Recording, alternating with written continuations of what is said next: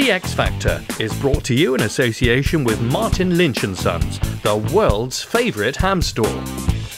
And the Radio Society of Great Britain is proud to sponsor TX Factor.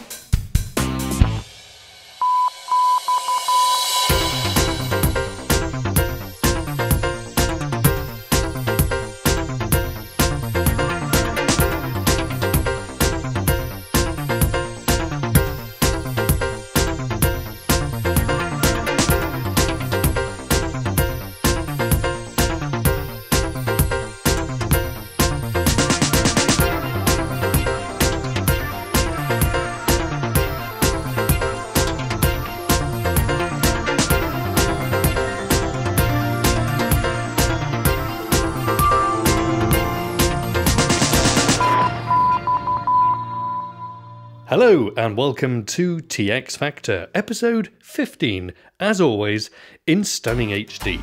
But broadcast TV hasn't always enjoyed such high quality pictures. In this episode, though, we meet a band of licensed amateurs who've moved into the digital age with pictures as well as audio. We hear from two youngsters who are new to and passionate about their hobby. But first, we join Bob, who's taking things rather casually in a faraway hotel bar.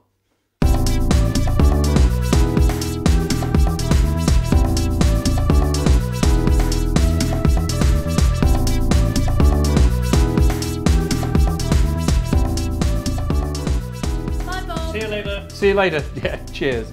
I don't know about you, but I love being on holiday. I've got everything I need here. The beer is cold, the peanuts are complimentary. In fact, they were just saying how much they like my shirt. Uh, the only thing that's missing is my IC 7300, which I've left back in Cornwall. I thought, of course, about bringing it with me on holiday, but that means you've got to put it in the suitcase, you've got to get it through customs, and then you've got to persuade the hotel to let you put up an aerial. It's a real hassle. But there is a way you can still operate HF while you're away. That is, A, you've got your laptop with you, which oh, I have, and B, if you've got the right software from ICOM to remotely control the IC7300.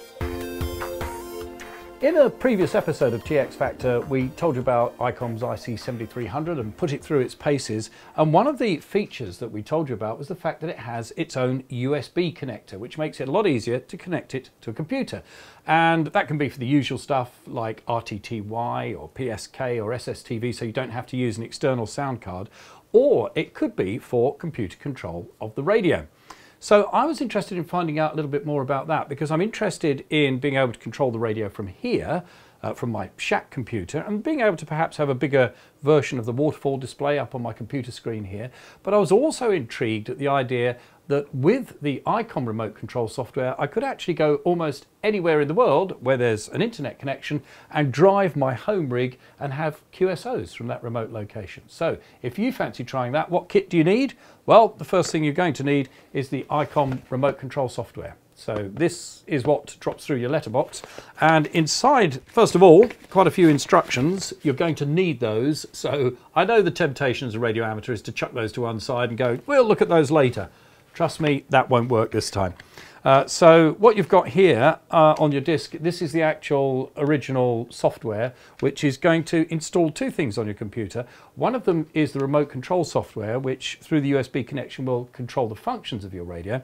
And the other bit of software is server software. And this installs a server on this computer, which if you're accessing the radio remotely, it'll be the server that connects to a remote computer. Sounds complicated. Um, you should be able to make the installation without any major obstacles. In fact, a lot of the obstacles that people have hit when trying to install this software are to do with the usual quirks of Windows and other operating systems and forgetting certain things you need to do before you start. After installing the remote utility and the remote control software on the server machine, we're ready to test it. And if you'd like to see the extended version of this film, which shows step-by-step -step instructions on how to set up your shack and laptop computers for full internet control of the IC7300, see our website at txfactor.co.uk. Right, now we arrive at the moment of truth. What happens when we press this connect button here? Well, with luck, we will connect the computer to the radio over here and let's see what happens. And there we are, bingo. Same frequency displayed. So we're seeing on our screen on the computer what we're seeing here. And I can click the scope here and the waterfall scope appears on my computer screen and it also appeared on the radio. And you remember we ticked the box that said when we close the software, the radio turns off. And just to prove that, let's disconnect. Radio gone. Connect. And the radio's back again. We now have complete control of the radio from this screen here. So we can change the band just by clicking on the appropriate band here. So if we go into 40 meters, uh, we're actually hearing the audio from the radio via the radio itself because I'm sat right next to it. So that's the obvious way to do that. And uh, we can adjust the filters. We can tune by using the tuning knob here. And that's just by right clicking your mouse to the right of it or left clicking your mouse to the left of it to tune up and down. And uh, we can click anywhere on the waterfall here to change frequency. And that's quite useful because when we get to the next bit, which is actually accessing the radio remotely, as long as we leave the power supply switched on, we can actually go away with the radio switched off and switch it on remotely. Again, in this overview of the ICOM remote control software, we're showing the basic concepts of how the various aspects of the software package work. For an extended tutorial with step-by-step instructions, why not watch the full version? It's at our website at txfactor.co.uk. So let's see what happens after I've finished installing and setting up the remote software on my laptop, which will link to my Shack machine and the IC7300. And click connect. And look at that, we can hear audio, which is a good sign uh, which means it has connected. And this isn't just through my local network, this is connecting through the net. And then if we go to the remote control software itself and click on that,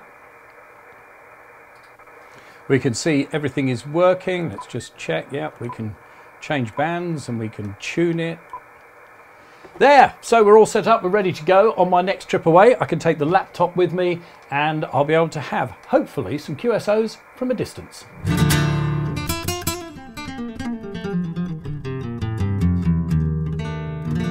You know what? I think it's time to put down the beer temporarily and do a little bit of holiday HF operating. We've got the remote utility software installed. We did that before we came away. And we've got the remote control software installed. We did that before we came away and configured it all.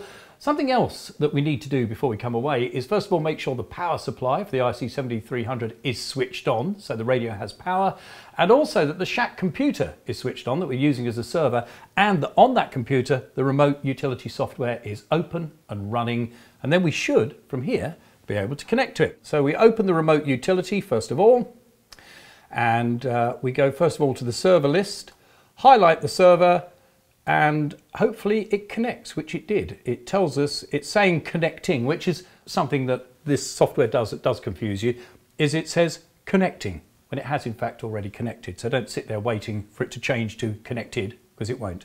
Connecting means it's there and you can see uh, it's giving you some times and packet loss information here so you know it's connected. Uh, then you go to radio list, highlight your radio and click connect. We can hear audio. So that's the radio back home in Cornwall. We're connected to it. And now, once we've done that bit, we can open the remote control software. And there it is. 20 meters coming through loud and clear from Cornwall. Uh, and if we want to switch the radio off, we can. And when I do that, disconnect, it's actually switching the radio off in Cornwall. But of course, because we've got the power supply on, we can easily switch it back on again and it should all just reappear. There we are.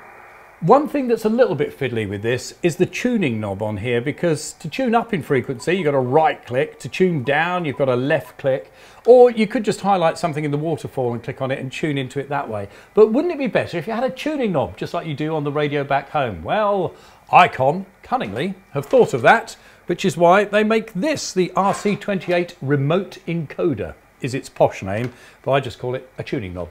And it's a very heavy piece of kit, actually. I don't know what they've got in it to weigh it down, but it's what you need when you put it on the desktop. So we just plug this into an available USB socket.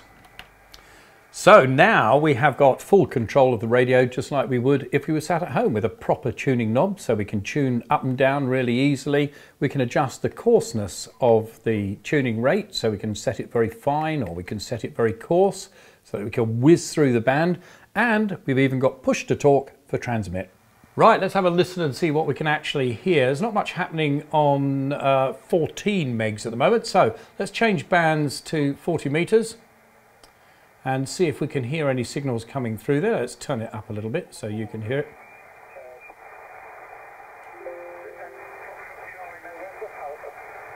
pretty good quality audio there, isn't it? And we can hear that station, uh, G station there, working on 40 metres. I think one of the great things to do with this actually would be to go on holiday and then turn up on your local 80 metre net when they think you're away. That would really confuse them.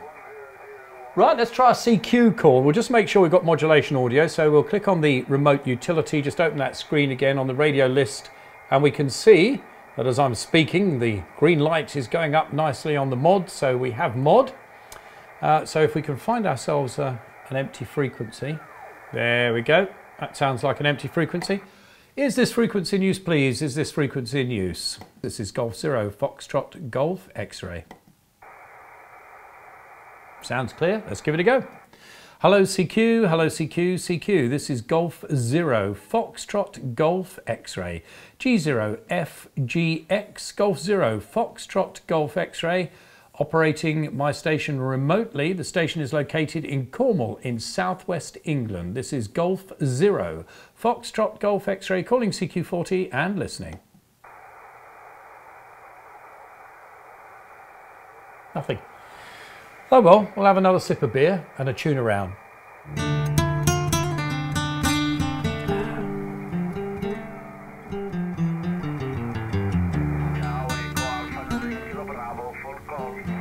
Golf Zero, Foxtrot, Germany, X-ray calling.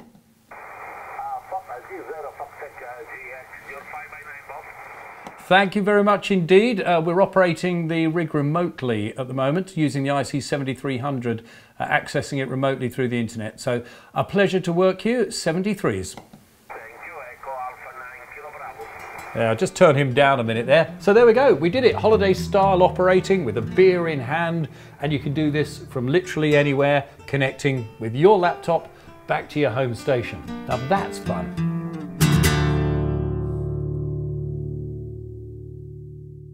Still to come on TX Factor, Bob and Mike investigate the ancient art of amateur television. But first, we meet several youngsters who are making waves in the hobby of amateur radio and that's coming up next. To add to their ever expanding manufacturer portfolio, Martin Lynch & Sons are extremely proud to announce they're now direct factory importers for Heil Sound. Bob Heil and his team have been designing and manufacturing high-end headsets and microphones for many years, and the complete range is now available from ML&S, including the superb ProSet 7 professional headset. The new ProSet 7 has two large gel earpieces for a comfortable fit and it's stereo so that signals from two receivers can be independently adjusted.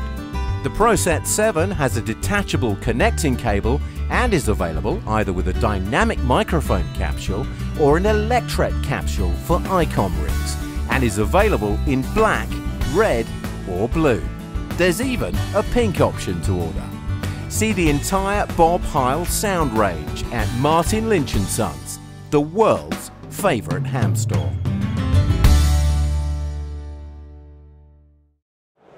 Walking around the exhibition, I had to stop at this stand here. I've come across a very rare breed that you don't see very often at a National Amateur Radio Rally.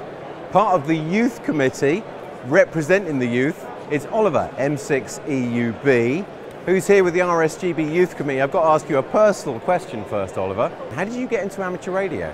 I got into amateur radio um, primarily through PMR radio, so like the little the kids, like Binatone type things. Got a new one of them and I absolutely loved it. Um, I had one of those for a few years and then just decided that I wanted to take it a step further.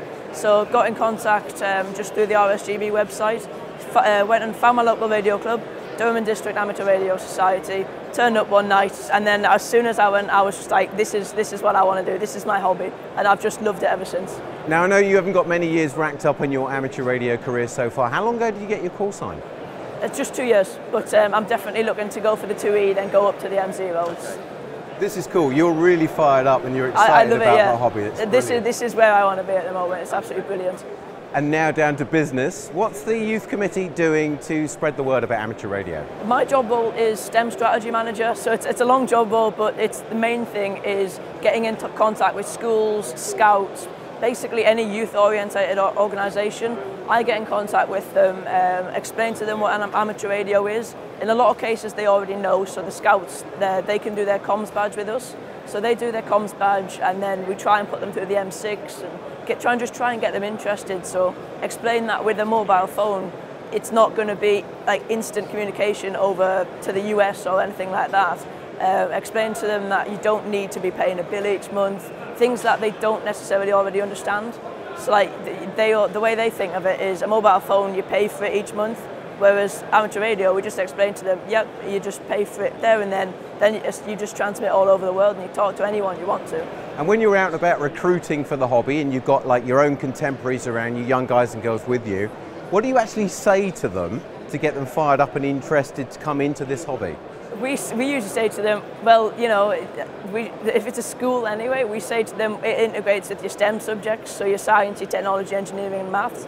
And we say to them that it's like it's the perfect way because you've got your your science because obviously it's radio physics, then technology because you have amateur radio with like IT and all that kind of stuff and then it, everything just integrates together. Like engineering, you get people who love to build things in the hobby, and mathematics, there's, there's plenty of that, especially in the M0 course. So it's just explaining how it benefits the schools, if anything. Yeah, and we're falling behind a little bit with our advances in technology and youngsters coming up through those STEM subjects. When you get into amateur radio, you could probably make a career in technology and electronics too. Yeah, at the moment, I mean, you know, we're falling behind on like the league tables for the countries on like the STEM subjects. And amateur radio is like it's the perfect way to try and push that up because you integrate so much into this one hobby. And I say one hobby, but there's hundreds of little things that you can do when you're within the hobby. So there is something for everyone, and it is trying to like drill that point that there is everything that you could possibly want to do in that one hobby. Now, another massive part of spreading the word is YOTA. What are you going to be getting involved in over the next few months? We're going to be uh, doing YOTA 2017, which the RSGB and the Youth Committee are organising at the moment. Uh, we've got JOTA coming up, and then we've got the YOTA month as well, which we're trying to reorganise in December. So there's a lot going on at the moment, and hopefully something to stay tuned for. Like. You're going to be a busy guy, right? Definitely, it is going to be a busy time for the, uh, the youth committee at the moment. Lots, lots of emails to send, lots of people to talk to. So we're just trying to, you know, achieve, achieve the goal, getting more youngsters in the hobby. All right, Oliver, thanks for chatting. It's been great to meet you. I can sense your passion and your excitement about getting into this hobby. Welcome to the wide and mad world of amateur radio, and may there be many years ahead for you in the, in the hobby. Yeah, thank you. We talk a lot about getting more young people involved in amateur radio. They don't come any younger than Lauren. Hello, Lauren. How old are you? I'm 11 years old. How long have you had your license? Two years. Now, what do your friends at school think about amateur radio as a hobby when you tell them that's what you're into? They just say, I don't believe you.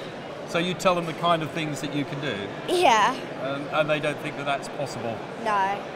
Now, you do something rather special though. You don't just sit in your shack at home doing ham radio. What do you do? Um, I go up, I do the Wainwrights, I do, I go, I go up the mountains and activate them. So how did that start? Um, well, during the holidays, my dad's dragged me and my mum up mountains and said, "Do you want to activate this?" And then we were like, "No, we can't be bothered." And um, then by the end of that, ho- the last holiday we had, which was two years ago, um, I said, "I want to do the, I want to activate them all." Um, so it's to start all again, and and now I've done 153 out of the 214. Summits. Yeah, What? So that sounds. How many have you got left to do then? 61. I'm glad you did the maths there. So 61 still to go. And Yeah. you've been doing the Wainwrights, and registering those and claiming those. So how many Yeah. Wainwrights have you done? Um, 153. Wow, that's a pretty impressive record. So you're really enjoying that. Yeah. And are people surprised, or other amateurs surprised, when you know they hear you from a summit and you tell them that you're 11 years old? Yeah, sometimes. Some people just go, oh, um, I know you. You're, You're that 11 year old who does all those summits. yeah. So why do you enjoy ham radio so much?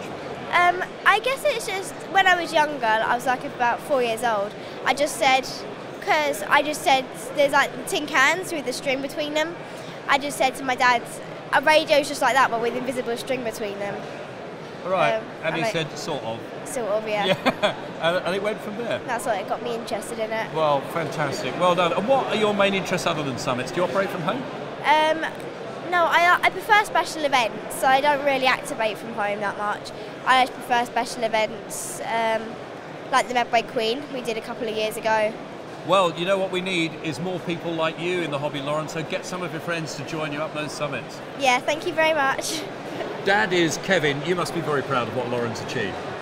Uh, I'm absolutely astounded with what she does. I mean, she just inspires so many people with what she does, uh, not just on the radio, but up on the mountains as well. And she's raising some money for charity too. Yeah, we've uh, decided to uh, run the event for um, Patterdale and Keswick Mountain Rescue Teams, and that's really in response for all the uh, problems they had last winter with all the uh, storms. Of course, we're going up there all the time, and we see the mountains in such sort of disarray and damage and uh, we thought we'd want to put something back into it as well. I also imagine that when you're up the mountain and there's other people, other walkers, get to the top of the hill and they see a, a young lady talking on the radio, they can't resist coming over and asking you what the heck you're doing.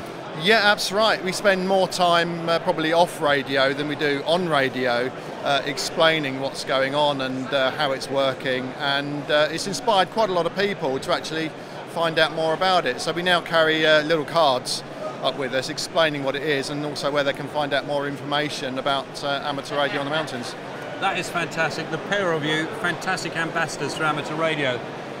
And that's what we all need to do a bit more of. Don't be hiding your amateur radio light under a bushel. Be prepared to spend a bit of time and explain to people when they ask you what you're doing when you're out and about with your radios.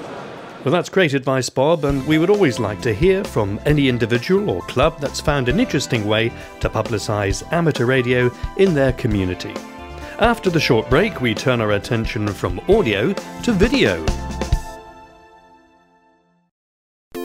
The Radio Society of Great Britain is proud to be a sponsor of TX Factor. The Society is dedicated to the development of the science and practice of amateur radio. It works to increase awareness and understanding of amateur radio and to make the hobby accessible to everyone. The RSGB has been in existence since 1913 and continues to look after the interests of thousands of licensed amateurs and shortwave listeners in the UK and throughout the world. The RSGB publishes Radcom, a monthly magazine, and a number of books on radio related subjects, including electronics, antennas, and propagation. See the RSGB website for more information on how the Society can work for you.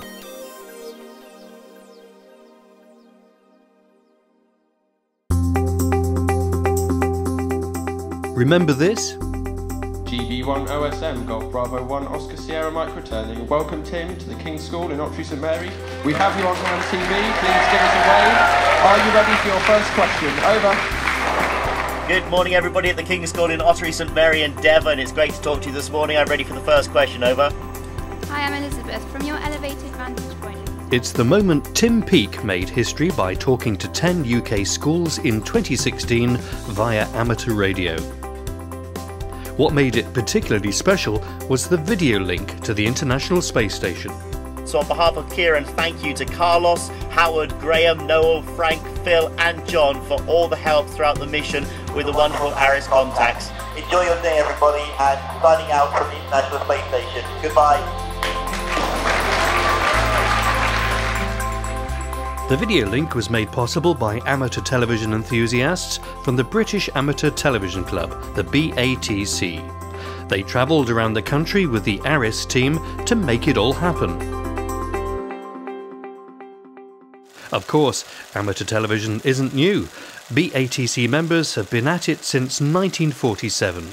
Since then, this facet of the hobby has been enjoyed by hundreds across the UK and thousands more around the world. There's a network of television repeaters dotted throughout the country on bands from 23 centimetres right up to 10 gigahertz, as Bob and Mike are about to discover.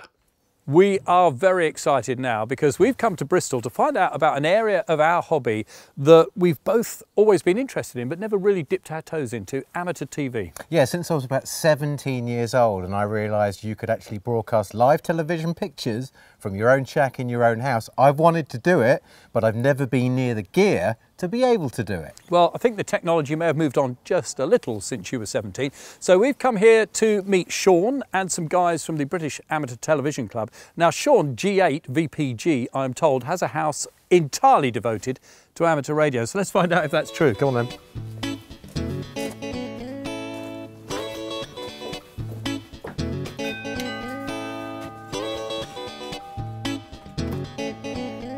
Sean. Hello, Bob. Hello, Mike. Welcome nice to, to meet Bristol. You. Come on right, in. let's go and see all the gear he's got in here. And we'll get to meet our host Sean in due course and discover more about the ATV repeater GB3ZZ. But first, waiting patiently in the conservatory are two BATC members eager to explain to Bob the principles behind amateur television. I've been a radio amateur for more years than I want to count, and throughout those years, I've always had an interest in ATV, but never quite dipped a toe into the water, but always read the columns in the magazines and really interested to read now that uh, digital ATV is a thing and it's getting easier to get into. So I'm delighted to welcome from the British Amateur Television Club, uh, I've got Noel G8 GTZ and Dave G8 GKQ with us. Uh, Noel, why is it easier now to get into digital ATV? Well, as you say, Bob, it uh, it has been difficult. And in fact, when we first started, we were using ex-commercial equipment, which was big and noisy. And whenever we turned the equipment on, the electricity meter used to spin off the wall. Uh, more recently, there have been some uh, equipment dedicated to amateur use, but it does still require a level of specialist knowledge to get the best from it. So how have you moved things forward? So now the BATC is launching the Portsdown project, which is aimed at newcomers to the hobby and also to those who were into television back in the 80s and 90s on 70 centimetres. And Portsdown is all about making it easy for those people to get back into amateur television. As the tide of digital technology rolls into the amateur community, a lot of us are a little bit nervous of it when we first see it. So, why do we need to go digital with ATV? Well, one of the main reasons for going digital with ATV in particular is spectrum efficiency. Uh, analog TV transmissions are quite bandwidth hungry and we, the amateur community, really had to move away from using television on 70 centimetres because we would occupy the whole band. Whereas with digital, we can now operate within a 2 megahertz spectrum. Digital technology, though, does make people a little bit nervous if they haven't had experience of it before. So, how have you made it easier for them to get into the digital aspect of this?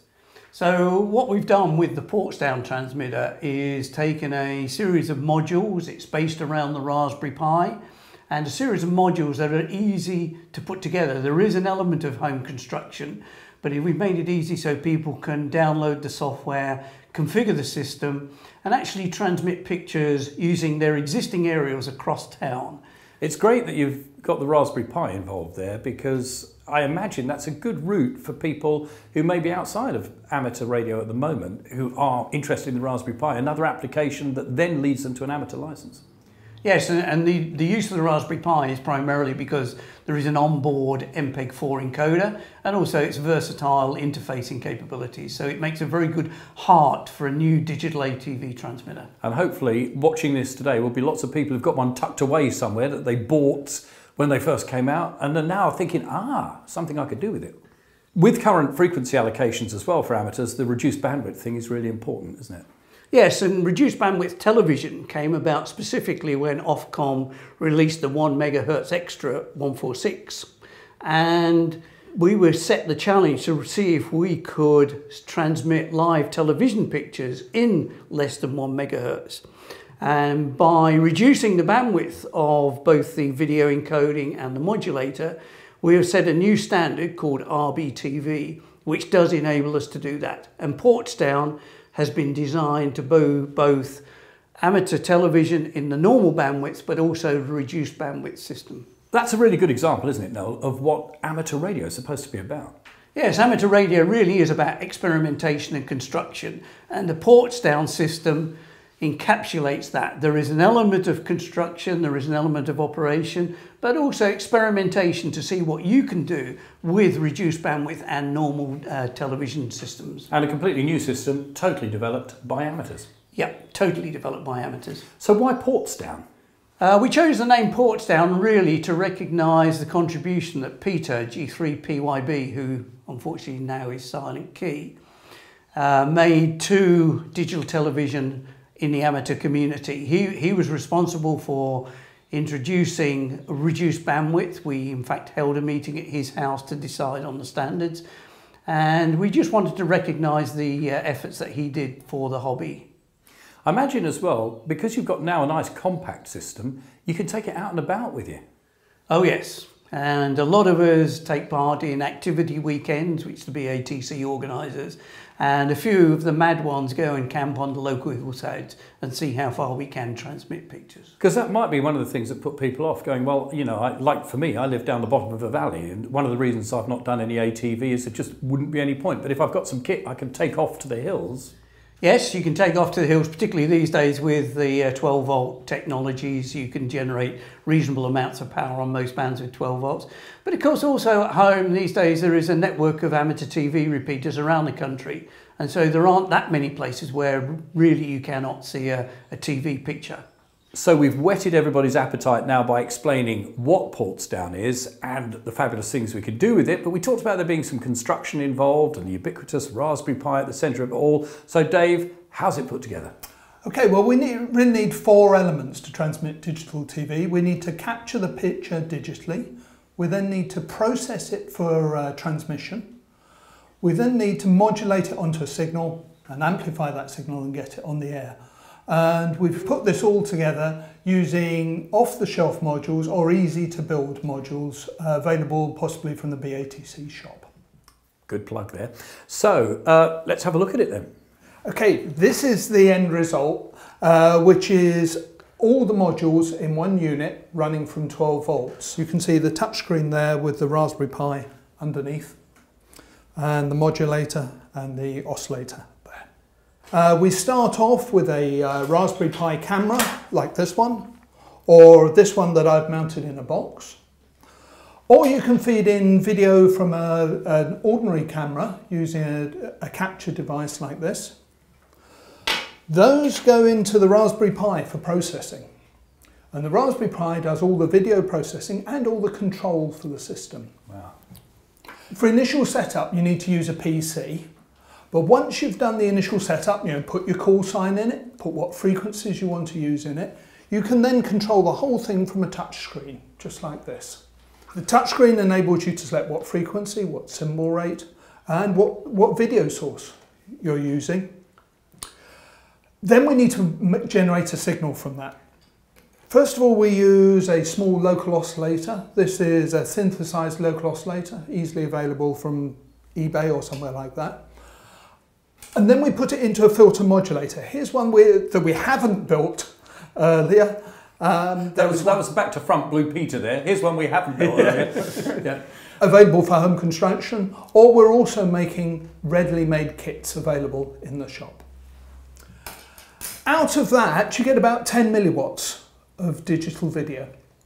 And you can then put that into your normal PA, as long as it's reasonably linear, and your normal aerials, hey presto, you're on the air with digital amateur TV. So that's a big advantage, isn't it? Being able to use some kit that you've already got as well as what you, have got to build. It is, yes. Not only are we reusing possibly the Raspberry Pi, we're reusing your existing amplifiers and, and aerials. How much help can we get with this, Dave? Because it's you went through that like, yeah, this is a breeze, piece of cake, you know, because you've put that together. But for somebody coming coming into this fresh, not having done it, is it pretty straightforward?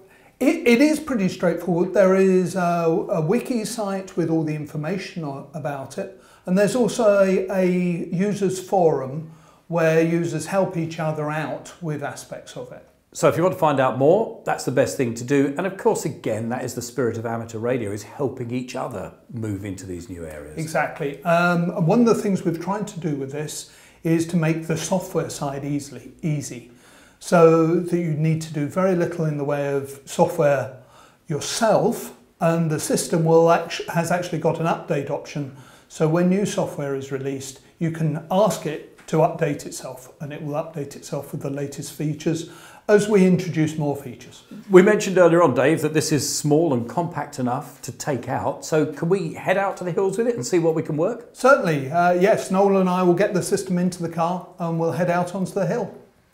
Well, we've sent the guys out off on their jolly out in the fresh air. I'm inside with Sean, G8VPG, in one of his three shacks. Nice to be in the warm still, Sean. And get ready to play amateur television. How long have you been into ATV?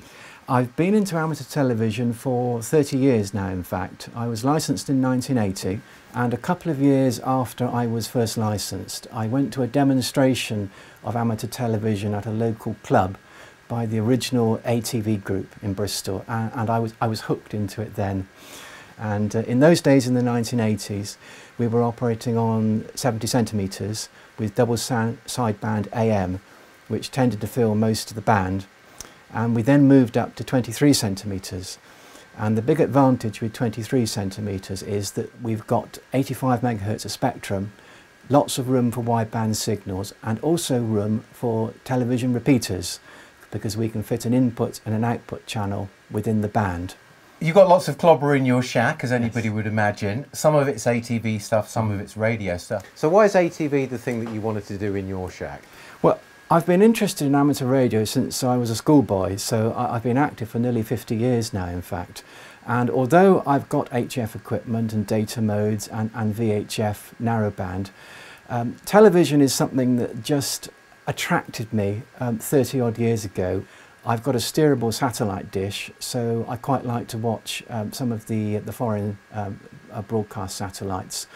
And I've also got facilities for DXing on the old Band 1 um, frequencies as well.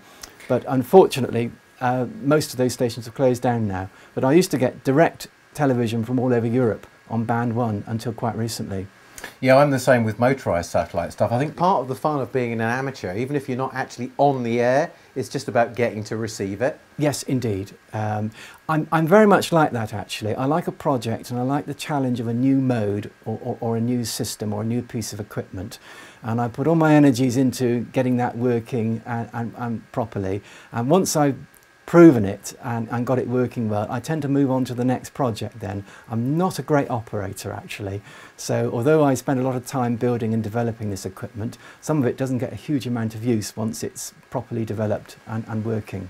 So with ATV, do you make a lot of the gear yourself? Indeed I am, yes. I think this is one of the attractions of amateur television is that not all of the equipment you need is commercially available.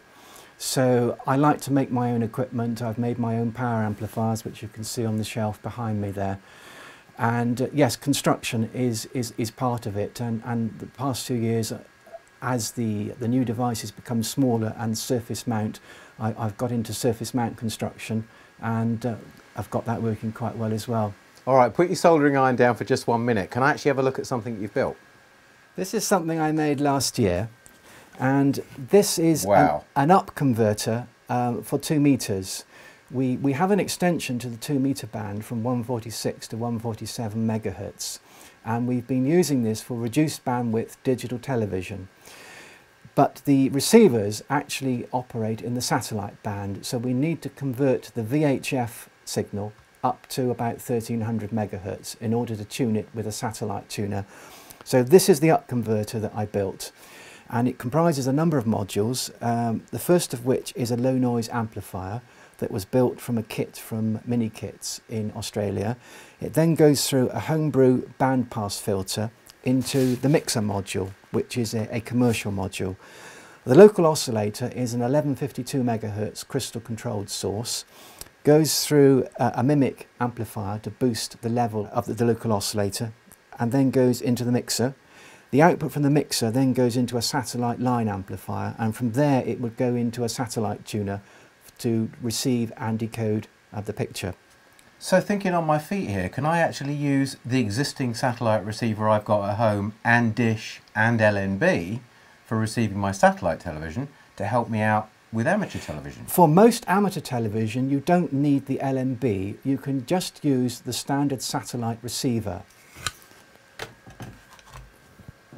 And here's one you made earlier. This is a inexpensive free-to-air satellite receiver that I bought off of eBay just a few weeks ago for £27.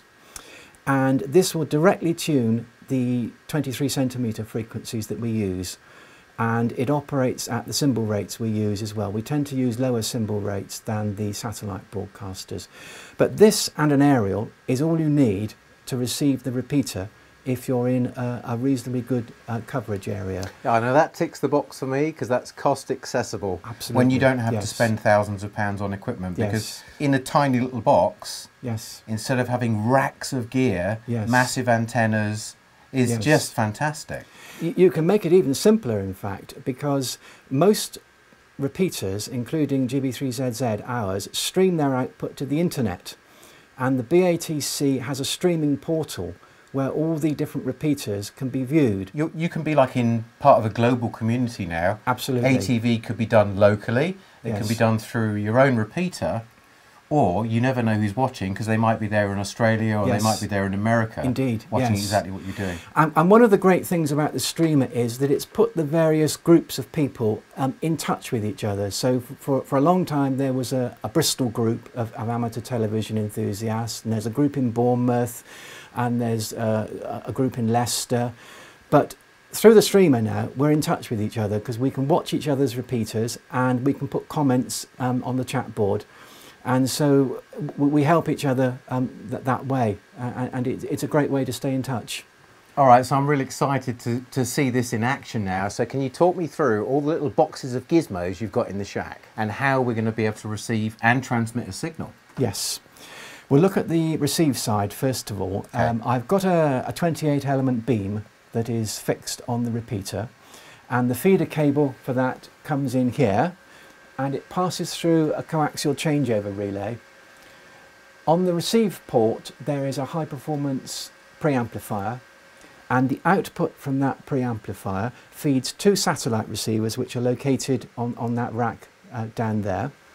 GB3ZZ is a two channel multiplex. So within the, the digital transport stream, there are two channels coded into it, channel 1 and channel 2. And there are two receivers, one for each channel. Um, we're using the loop out from the first uh, receiver to feed the second receiver. And then the pictures are routed up to this monitor here. This is channel 1, which is the main through video channel All right, so if nobody's actually transmitting on the repeater, do you actually get a test card or something like that? That's correct. Uh, one of the differences between 23 centimetre repeaters and other repeaters is that when they're not in repeat mode, they act as beacons. So there is always a signal present, which is very useful if you're tuning up a, a reception system. Channel 2 has an 8 channel sequencer uh, which goes through a series of uh, four cameras, two showing the outside of the building where the repeater is located, two showing the equipment within uh, the repeater room. So this is pretty much like a basic CCTV setup, really, right? Yes, that's correct. Um, at the moment, it's showing the temperature controllers, which show the temperature of the transmitter, heat sink, and some other equipment.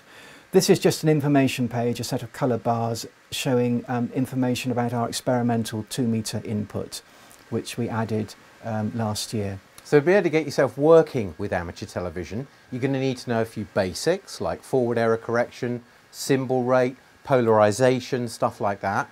Where is a newbie to amateur television going to get all that information from? We have a website which gives information about our repeater, but the BATC have a forum, and part of that forum is a data page for every repeater in the country.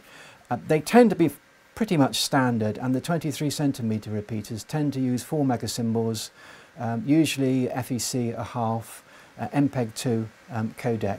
So to relate it to something I know a little bit about, British television uses a symbol rate of 27,500 quite regularly. You mentioned a much lower number. Why is that? The reason is that we are required to limit the bandwidth that we use and the most that we use is, is 4,000 kilosymbols um, on 23 centimetres. On 70 centimetre band we use 2,000 kilosymbols or less and on the 2 metre extension band we use a maximum of 333 kilosymbols. Now from my basic knowledge, using a really low symbol rate makes it much harder to receive, right?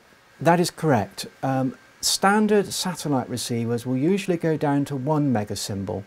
However, below that you require a specialist bit of kit that has been developed by the BATC and Jean-Pierre F60ZP and this is a low symbol rate satellite receiver that is I think probably unique in the world actually and is the only television receiver that will go to that lower symbol rate. The big advantage of um, using the, the lower symbol rate is that we compress the bandwidth and when we compress the bandwidth we can achieve a greater range for a given power or we can achieve a given range for a smaller amount of power and one of the, the, problems with digital modulation is that it requires very linear amplification, class A amplifiers running high bias currents. So we have to derate the amplifiers um, quite considerably. Um, the 2 meter amplifier I've got has got a, a normal service rating of 60 watts, but I normally run it about 7 or 8 watts to keep it in a linear zone. All right, exciting times. We're about to transmit live television, I hope. Can you show me how this all works, get it fired up so we can put out transmission? Yes, indeed. I need to sit down for this so that I'm in uh, frame of my Am own I in the way? No, because we're, we're filming you. We're filming you, filming us. Okay. So, so uh, if I sit down here, um, I've got a camera over there that's uh, framed up on me, and the preview monitor over there shows the picture that we will be putting out to the repeater. So if I just flick a couple of switches, This is all very professional. but here we are. We are actually transmitting through GB3ZZ now. Um, and the output from the repeater is being streamed and you can see it on the iPad there. I need to clip my own microphone on now because we transmit sound uh, with the vision as well. Go for it. So uh, the, uh, the preview monitor there shows the signal that's going into the transmitter and the iPad shows the actual output of the repeater. Now, hang on. There's there's like a six, seven, eight second delay here. That's correct, yes. Um, Why is that? Because we're going through about three po- processes of digital coding and decoding, plus the picture we're watching there is being streamed through the internet. So there is a certain amount of latency in Okay. that, which, which is unavoidable. Unfortunately, because I've only got one aerial, I can't achieve what we call look through, which is where I monitor the output of the repeater directly whilst I'm transmitting into it. In order to do that, you need two aerials and some good filtering to stop the transmitter from desensing the receiver. Just like a two meter voice repeater, for example. Exactly, exactly. Right. And, and this is what we've had to do on the repeater, of course, um, because that does transmit and receive simultaneously. So there's a good bit of filtering in there.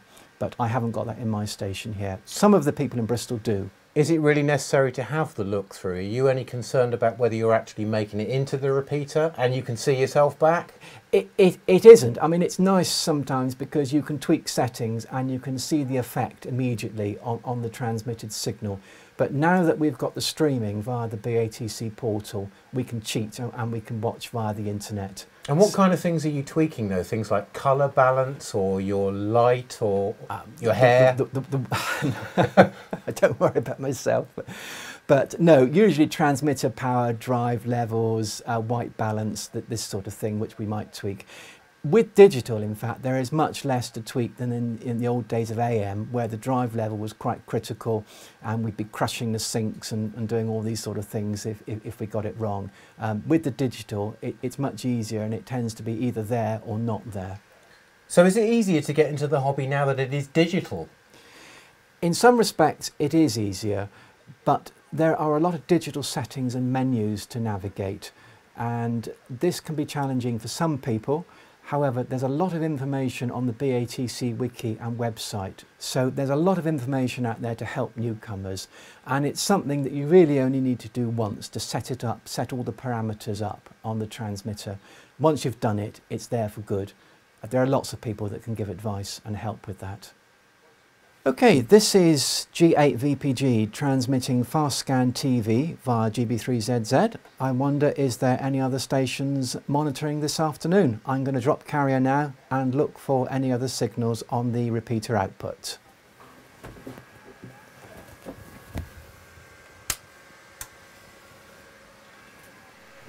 Okay, we've got a test card.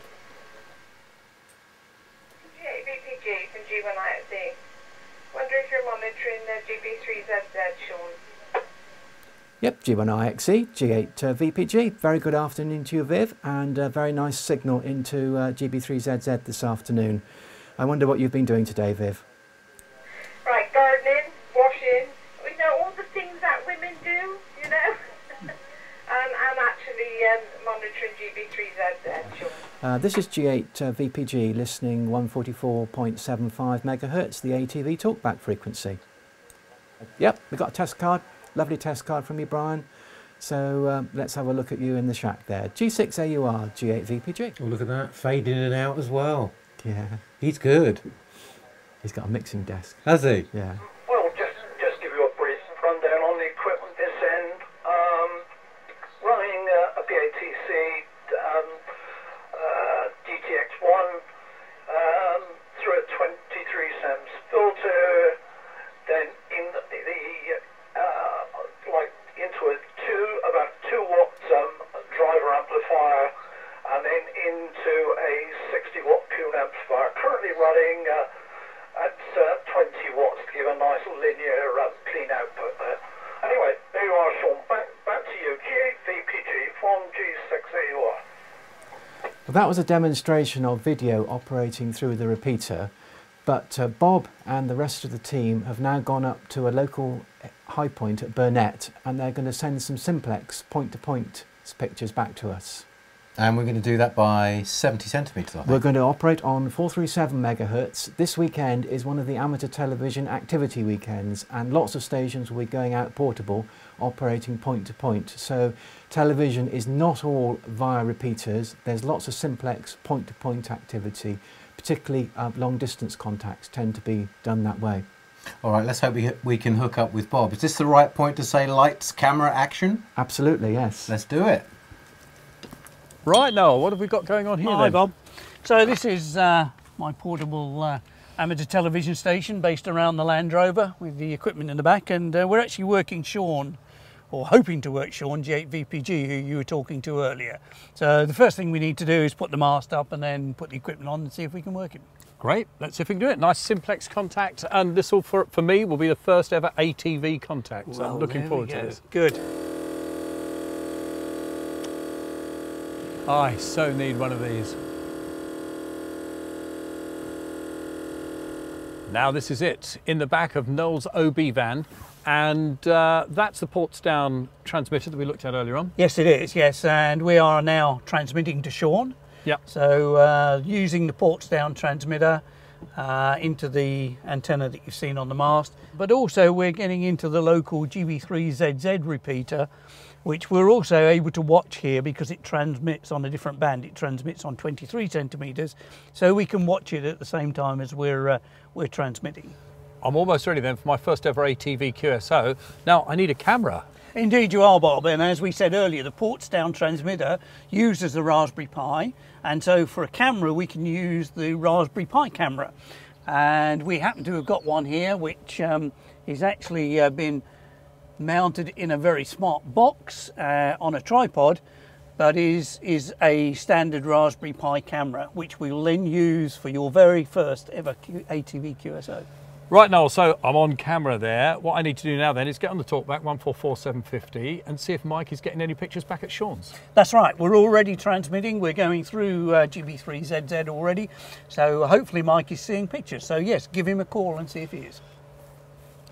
G0FGX portable, G0FGX portable. Uh, Mike, are you getting any pictures from us from up here? Yeah, I'm getting some good pictures from you now, Bob. Looks like uh, You even had time to do your makeup by the looks of it. I have people do that for me actually. Uh, so, have you found this a good introduction to ATV, Mike? Yeah, this has been fantastic. I've had a really good look at the hobby and how you put it together, and I think it's definitely something that I want to get into. and also working through the repeater, there seems to be a real kind of family atmosphere and a friendly vibe in the ATVs. So I think if you're a newbie to the hobby, you're going to be welcome with open arms. Well, thanks, Mike. And I found this a really great introduction into amateur TV. And I hope there's lots of people who've watched this who are going to be inspired to get in touch with Noel and the rest of the guys at the British Amateur Television Club and find out more about how you could be putting some pictures to go with the words in amateur radio.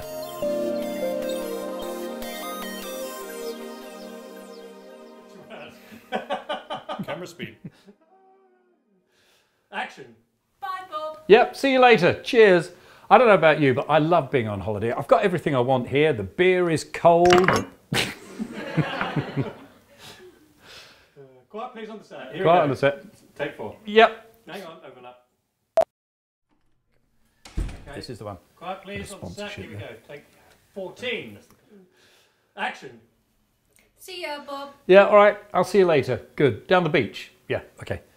Now, I love being on holiday, don't you? I'll do that again. All right, yeah, see you later at the beach. About seven. Brilliant. I've got a creaky bottom.